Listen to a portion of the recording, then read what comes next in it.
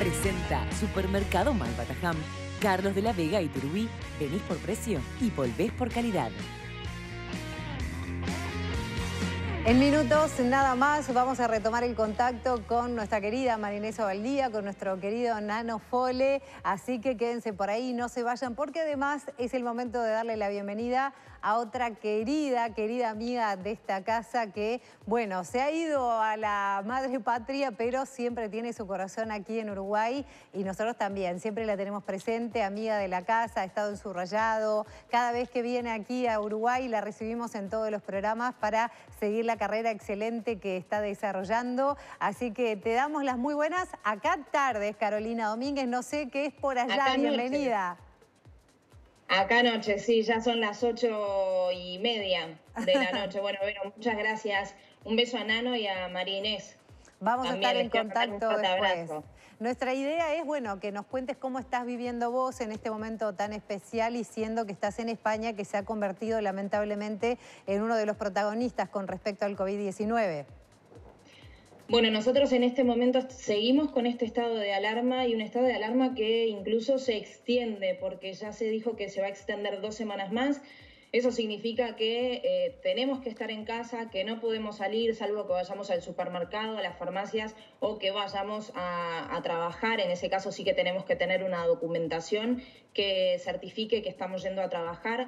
Aquí en España ya se contabilizan más de 4.000 muertos, se habla ya casi de 60.000 contagiados por coronavirus, una cifra que realmente es muy, pero muy alta, pero hoy el ministro, hace algunos minutos, el ministro de Sanidad dijo que, eh, esperan, eh, que esperan estar cerca del pico máximo, porque hoy por primera vez se registró un descenso y eso genera una esperanza a que haya realmente eh, una bajada, pero bueno, eso sí hay que esperar unos días más para ver cómo, cómo resulta. Lo cierto es que la gente, igualmente yo por suerte y gracias a Dios tengo un balcón y puedo salir un poco a tomar aire porque realmente hay mucha gente que vive en interiores o hay gente que vive en casas realmente muy chiquitas y están cumpliendo a rajatabla esta, este confinamiento. Es muy duro anímicamente, muchos días que te dan ganas de llorar que hay días que estás más arriba, hay días que estás más abajo, hay días en los que tenés que tener un amigo en el que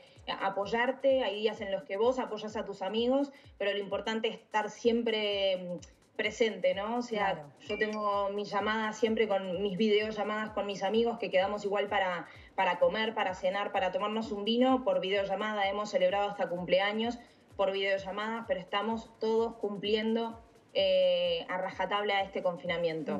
Caro, eh, la verdad que es difícil imaginarlo porque muchos televidentes que nos están viendo ahora, que hace apenas un poco más de una semana que están viviendo también aquí este aislamiento social, que en su caso es total, no es voluntario además, como aquí en Uruguay. Eh, ¿Cuántos días hacen que ya están en esta situación? Y contanos vos desde tu experiencia y por lo que hablas de tus amigos, ¿cómo se hace? Vos que hoy para nosotros sos el diario del lunes, para sobrellevarlo, esos días que vos nos decías que de repente te parece que te vas a caer, que te dan ganas de, llorar, sabemos de tu sensibilidad y bueno, nos vendría muy bien a todos en este momento. Yo creo que hay un patrón que se está repitiendo en prácticamente todos los países eh, del mundo y es que hasta tanto la cifra de contagiados no se dispara o no empiezan a haber fallecidos, la gente no toma del todo la, y no digo la mayoría, ¿no? Pero bueno, hay mucha gente que no toma conciencia de lo que, de la gravedad de este coronavirus, que es realmente muy contagioso. Eh, por eso no hay que ir a los parques, no hay que ir a los bares, no hay que quedar con amigos, hay que realmente quedarse en casa. Bien, sí. Carolina Magui, Correa, ¿cómo andás? ¿Qué tal? ¿Cómo estás? Bien, bien. Eh, yo creo que más que nada, eh, recién hablabas un poco de cómo es tu situación, de, qué manera eh, sobrellevar un poco más, pero tal vez me, parece también dar un panorama un poco más global y qué recomendaciones hacernos, como decía Vero, a los uruguayos un poco. hablabas de las videollamadas, hablabas un poco, pero ¿cómo es el día a día? El día a día, más allá de la videollamada y cómo sobrellevarlo. Bueno, a ver, los días libres intento hacerlo, intento hacer lo que hago lo que hago todos los días, un poco que tengo libertad, un poco de deporte, cocino, trato de ordenar la casa, he hecho mucha limpieza de cosas viejas, he aprovechado el tiempo, pero más allá de eso, yo tengo la suerte de teletrabajar jueves y viernes, por ejemplo, hoy estuve teletrabajando y eso de alguna manera me da la vida porque me permite estar en actividad, estar haciendo cosas. Por otro lado, eh, los sábados y los domingos sí o sí tengo que ir a la tele porque, bueno, los equipos están distribuidos de esa manera y los sábados y los domingos estamos todos ahí, eh, bueno, por lo menos mi equipo de fin de semana, pero es cierto que hay mucha gente que aquí se ha quedado sin trabajo. Yo tengo amigos que les han suspendido temporalmente eh, sus contratos. Eso significa que están en sus casas sin trabajo, confinados y sin saber cómo van a hacer para llegar a fin de mes para pagar ese alquiler. Hay muchos despidos también definitivos, pero a ver, que la mayoría de los contratos eh, han sido suspendidos temporalmente. En Italia la diferencia es que la mayor parte de los trabajadores a, la mayor parte de los trabajadores lo que les pidieron es que se tomen las vacaciones anticipadas. En este caso acá en España en general lo que se ha hecho es suspender contratos temporalmente. Sí, no, acá está pasando algo bastante similar. Por eso también eh, brindarnos la situación de lo que está pasando en España, que ya comenzó hace algunos meses y que lo que se ha dicho por parte tanto tuya o de, personas que, que, viven allá hace muchos años, españoles de hecho, es que no se tomaron las medidas a tiempo para evitar toda esa propagación, la cantidad de muertes que ascienden, si no me equivoco, es el país después de China, que no sé, estaban ahí cabeza a cabeza, tiene más muertes hoy. Eh, España ya superó la de, de, China. Ahí está, porque por estos días iba cambiando un poco, había sido el que tenía más fallecidos, ahora ya superó a China. Es tremendo. Es, no se tomaron las medidas a tiempo que tal vez acá, al ver lo que sucedió allá, empezamos como a poco a hacer ese aislamiento social. No sé cómo lo, lo ves vos a Uruguay desde allá. Bueno, yo ojalá, de verdad que lo que pido, reclamo y, le ruego a la gente es que de verdad eh, cumpla esta cuarentena. Eh, no quiero que lleguen a lo que sucedió en España y como les digo, esto es como el diario del lunes, o sea, ustedes pueden ver lo que está pasando en España y todo lo que está pasando en Italia entonces, con, esta, con este ejemplo, por favor, no repitan y no lleguen a las medidas que estamos, eh, bueno, tanto tomando acá como lo que está sucediendo en los hospitales, en donde eh, están desbordados el personal en general, no hay mascarillas, no hay trajes adecuados para atender a las personas con coronavirus, o sea, realmente no hay camas, están abriendo, eh, por ejemplo, hay un sitio muy conocido aquí que se llama IFEMA, que es como si fuera, no sé, cuatro veces el LATU, y lo están implementando como un hotel, como un hospital momentáneo para que puedan atender a personas, así como hay hoteles que los están medicalizando para tratar de atender y aislar a aquellos pacientes con síntomas más leves. Es gravísima la situación que con, los mayores, principalmente. Fíjense que estamos hablando de 4.000 fallecidos aquí en España y 1.500 son mayores que viven en residencias. Aquí hay muchísimas residencias de mayores y realmente eh, la expansión del virus los atacó fuertemente, sobre todo en estas residencias. Eh, aproximadamente unas mil, unos mil fallecidos son aquí en Madrid. Una situación realmente eh, muy triste, sobre todo, a ver, fíjense lo que sucede en los hospitales. Aquí en los hospitales los pacientes mayores que están aislados y que no tienen, por ejemplo, un celular para, para poder, porque quizás no tienen eh, o la posibilidad o la movilidad o la capacidad como para comunicarse con sus familiares y de hecho hay muchos hospitales que directamente han prohibido el ingreso de móviles a esas habitaciones aisladas. Entonces, ¿qué pasa con esos pacientes que no se están pudiendo despedir de sus familiares? Y realmente me tocó el fin de semana pasado hacer un reportaje sobre eso y es durísimo.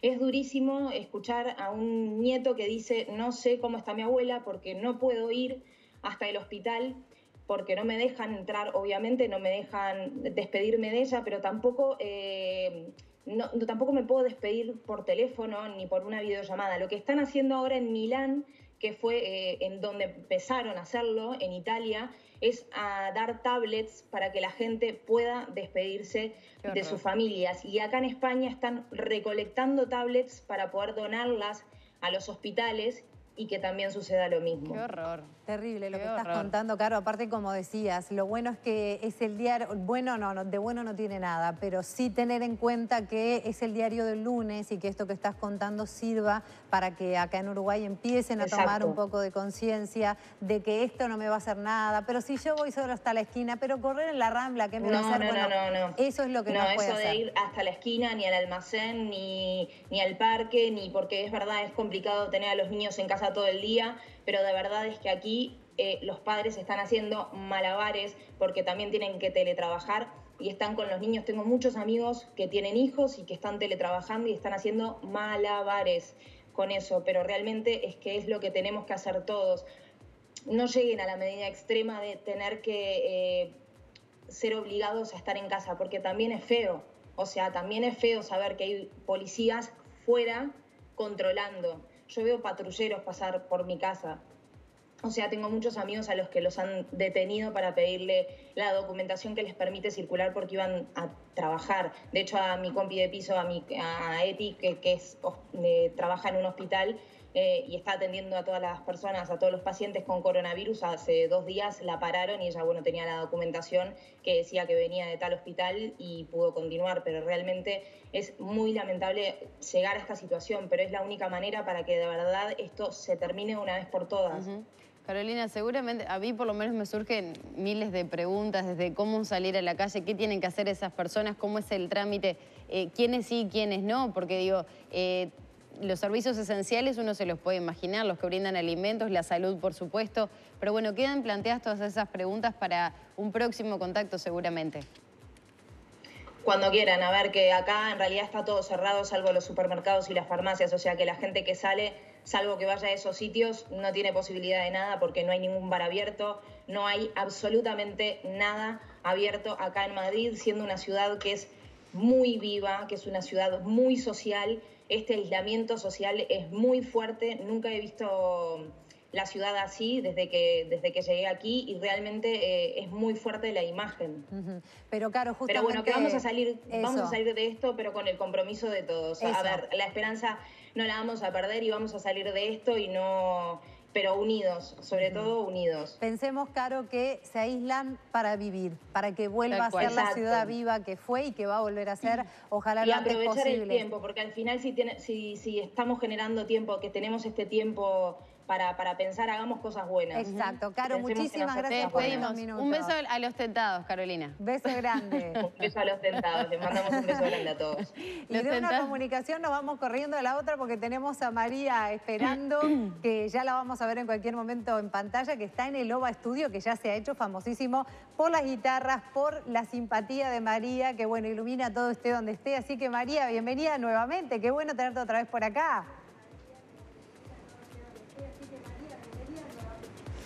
Muchas gracias. Estaba escuchando a Carolina muy, muy, muy, muy preocupada por, por ella misma, porque, bueno, porque entiendo que está poniendo además su propio temple personal para acompañar ese trabajo profesional. Es como nosotros, de las privilegiados o de los privilegiados que tiene una, agenda de trabajo, es decir, eh, el sábado y el domingo puede ir a trabajar y eso le genera eh, una rutina que hay muchas personas que están obligadas a estar en su casa y que no la tienen. Pero la verdad es que estupendo su trabajo y, y también la tarde en casa por contactarla, por traerla un poquito, para que los domingues de acá se sientan un poco más cerca de ella. Bueno, todo muy importante lo que nos dijo, ¿no?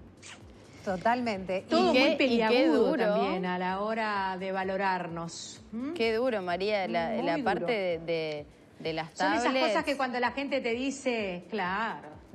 Pero que ojalá sirva aunque sea Es que para... cuando la gente te dice, sí, no, ¿qué va a pasar? qué sé yo, no está mal la postura para oxigenarnos, pero, pero esto es muy serio y tenemos que tenerlo claro. Y que ojalá sirva, María, justamente para eso, para tomar el ejemplo. Lamentablemente tenemos ese ejemplo, pero sentir la responsabilidad de que está en nosotros no llegar hasta ahí, porque todavía estamos a tiempo. Pero depende de la actitud que tomemos ahora, Exacto. es evitarlo. Si nosotros seguimos saliendo, correr un ratito en la rambla no pasa nada. Salimos a la puerta a pelotear. No, yo voy hasta acá. Ah, nos pasa a todos. Ves a personas que están con el mate por la calle y te dan ganas de decirle, ¿qué hace usted acá? Que no tiene que hacerlo. Bueno, no nos llevemos nosotros mismos a que nos terminen obligando a hacerlo. Sí, yo no he visto nada de eso, porque las pocas veces que he salido, bueno, este, han sido por obligación, pero bueno, me, me, conmueve, me preocupa, me, subleva que eso que vos decís de que la gente ande tomando mate por la calle como perico por su casa. Pero bueno, eh, vamos a ir a la promesa que les había hecho y que las personas que están en redes, yo no tengo Facebook, no trabajo con Facebook, no uso Facebook, alguna vez tuve una cuenta solamente por razones estratégicas. Eh, pero en este momento sí tengo una subcuenta, por decirlo así, porque la, la utilizo muy poco en Twitter y una cuenta con la que me muevo más, con más este, mm, vigor y con más eh, empatía en Instagram.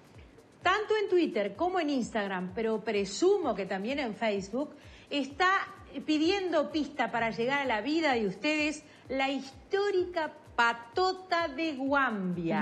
A ver sí, los viejos y queridos eh, dibujantes, creativos, humoristas, eh, están con un logo, yo lo tengo aquí, no lo van a ver ustedes, pero allí, por ejemplo, están viendo, ¿ven? Este es en Instagram. Aquí hay, eh, bueno, alguien que medita sobre que padre visto en este contexto del coronavirus que bien hacía Pilatos en aquello de lavarse las manos, dice esta, esta señora, esta beata que llega a consultar a un sacerdote que, este, bueno, no tiene por qué ser el cardenal, pero me da como un aire al cardenal, a mí, ¿qué querés que te diga? Cierto. Bueno, el tema es que eh, la patota se ha reunido y dice así, la barra de Guambia está aburrida de tanto confinamiento coronario y desempolvó los lápices. Humor en tiempos de COVID-19. Que nos quiten lo cuarentenado, dicen en Twitter y bueno, y acaban de abrir esta cuenta, marzo del 2020. ¿eh? Eh, yo la estoy siguiendo, ellos no siguen a nadie. En este momento, déjenme ver, tienen muy pocos seguidores, casi todos de los medios. Estoy viendo a la gente de Efecto Mariposa, estoy viendo a Diego González, estoy viendo a... María, contanos cómo es bien la dirección a ver, déjenme ver. Eh, Capaz que la podemos poner en gráficos así. En Instagram, bueno, era la imagen que ustedes tenían ahí. Esa, esa, esa es Instagram. Guambia con el coronavirus. Ahí está. La pueden encontrar muy fácilmente. Ahí está. Mm, Guambia con el coronavirus. Miren que pasé de Twitter, que era donde estaba recién. Ahora me vengo a Instagram y es Guambia, que obviamente nadie se olvida de lo que quiere decir, Guambia con el coronavirus. La barra de Guambia está aburrida de tanto confinamiento coronario, dicen lo mismo. Y desempolvó los lápices. Y acá están, todos los nombres, ¿eh? Está Leo, este, está... Eh, eh, bueno, la gente histórica de, Guambia, ah, hay obviamente eh, guiñadas de todo tipo puestas acá, situaciones de estas que está Álvaro Alcuri también. Eh, eh, vuelven a aparecer aquellos personajes, ¿se acuerdan de aquel linchera que tenía un amigo que se llamaba Ratita? Dice, nos esperan tiempos jodidos, Ratita. Y Ratita le dice, ¿qué van a esperar? Están viniendo para lado, desde arriba de un carrito mientras recorren una ciudad que bien puede ser Montevideo y alguien que por teléfono dice, quédate tranqui, ya me abastecí, tengo alcohol en caja, alcohol en lata, alcohol en damajuana, alcohol en botella. ¿Cómo? ¿En gel me dijiste? Bueno, el que era más importante parece que no lo había conseguido. Es el humor de nuestra gente, el humor de la gente de Guambia. Creo que tenemos que agradecerles que en este momento tan complejo estén en redes, están todos trabajando. Eh, acá hay imágenes de todo tipo, son los históricos. Así que los invito a que el tiempo que tenemos entre el programa de hoy y el programa de mañana, si tienen ganas, se agreguen al grupete de gente que lo sigue. Vuelvo a Twitter ahora. Este, y bueno, y como les decía, hay mucha gente de los medios, Pata Ismendi también lo sigue. Sí. No, que hace, eh, cuando terminó la intervención que hicimos contigo hace un ratito, eh, daba cuenta del homenaje que se le realizó a Antonio Davesíes hace un par de meses nada más, cuando estaba terminando Cierto. 2019, y toda la emoción, y se vio junta la patota. Sí. Sí, claro, porque fue eh, galardonado con el título El reconocimiento de ciudadano ilustre de la ciudad de Montevideo. Yo recuerdo que lo tuvimos en la mañana en casa, lo recibí como un ilustrísimo invitado. Él estaba como muy pudoroso con la circunstancia, pero tenía claro que no solo había creado el dedo y había creado Wambia, sino que había generado, además de esos productos en sí, una manera de juntar a tantos creativos y creativas uruguayos y generar un, producto nacional que tenía, que tenía su picardía. Él lo explica en la nota, además, está en YouTube si la quieren volver a ver, eh, qué números hizo, cuál fue la idea inicial. Y bueno, y aceptó ese galardón eh, con mucho pudor, pero también teniendo claro que no era a nivel personal. Después que dejaron de salir las revistas, tuvo ese espacio en la Ciudad Vieja el espacio Wambia, donde iban tantos músicos nuestros, eh, gente que iba a hacer stand-up, gente que iba a hacer impro. O sea, realmente eh, esa cuestión, de gestor cultural de Dicandia no, no, no tenemos que, tenerla de lejos. Allí están viendo ustedes Wambia con el coronavirus en la pantalla de la tarde en casa. Bueno, si tienen un ratito para la sonrisa o si quieren volver a reencontrarse con estos eh, nuestros eh, humoristas, creativos, originales. En fin, enfrentar el coronavirus a la uruguaya y poder decir Uruguay no Claro, además no son tantas las publicaciones uruguayas que terminan siendo como una marca registrada, que como que se convierten en algo que uno dice Guambia y ya cualquiera sabe qué es, y no es algo que se dé tan frecuentemente en ese tipo de publicaciones, ¿verdad? Efectivamente. Ustedes recuerdan qué peso tuvieron los caricaturistas en episodios trágicos, por ejemplo, de terrorismo eh, a nivel mundial. ¿Cuánto ayudaron a la gente a procesar ese momento? Eh, ¿Cuántos invadieron las redes? Bueno, sin llegar a eso y quitándole justamente la connotación, perdón, se cayó el OVA Studio, no. El OVA Studio tuvo un derrumbe. Pero está sano y salvo, ya estamos de nuevo, María. aquí estamos. Tal no cual. soportó tanto glamour junto, María. Televisión verdad. plano. Ahí quedó bien, Qué ahí corto que tengo el brazo, chiquilinas. Tenés que comprarte uno de esos palitos. Bueno, es lo más que da, ¿eh? Bueno, ahí volviste, ahí volviste. Quédate ahí, quédate ahí. Tengo un trípode maravilloso. ¿Qué es? ¿Qué es? Esperen que se los muestro, miren, miren, miren. A ver. Esperen, esperen que voy a hacer un giro acá. Acá está la planta que ayer les mostré. Ahí está la televisión. Eh, y acá tengo el trípode. ¿eh? Ah, bien. No sé si lo ven allí. Ah, pero es una maravilla, súper profesional. La ventana y el trípode, pero bueno. Bien pro. Y bueno, este María. es el equipo que me envió el canal el primer día que empecé a hacer el teletrabajo en casa. Así que bueno, aquí lo tengo instalado prácticamente todo el día me sirve para contactarme con la mañana, con la tarde. Y bueno, y en este caso, no sé, es Newton el que nos trajo la ley de la gravedad que me generó ahí un problema. Como la manzana se me cayó el aparato. Pasan las mejores familias de trípodes, María. Televisión verdad, dijo la productora Caro Manduca. Tal cual. Tal cual. María, muchísimas gracias como siempre. Es un gusto verte y bueno, más si es por partida doble. Y desde ya. A ustedes. Te advertimos y a todos que a pedido del público, y es absolutamente cierto, vamos a tener más contactos contigo y con Nano, que mañana también va, va, a salir varias veces con nosotros en contacto. Así que, como siempre, te vamos a estar esperando mañana. ¿Cómo no? Que sea parte de la nueva rutina, María. Gracias, porque la verdad gracias te por venir al OVA Estudio. Te extrañamos que no mucho. se caiga. Lo están haciendo tan bien. Gracias. Vamos a poner firme este, el trípode. Es que yo lo cargo y lo descargo entre un programa y otro. Se ve que no lo había puesto bien sujeto. Muchas gracias por venir a casa. Gracias por permitirme este contacto, ¿eh? Porque a mí también me hace mucho bien. Y sé que a mi padre, por ejemplo, que me está viendo desde su apartamento, también le significa una guiñadita. A Don Ovaldí un beso enorme, que obviamente es fiel a redoblar. de Canarias. Gracias, un beso grande. Gracias. Y tiene esa dulzura, tiene esa espontaneidad de que uno iría y se la comería a besos si pudiera. Pero no podemos todavía, pero después seguro vamos a poder.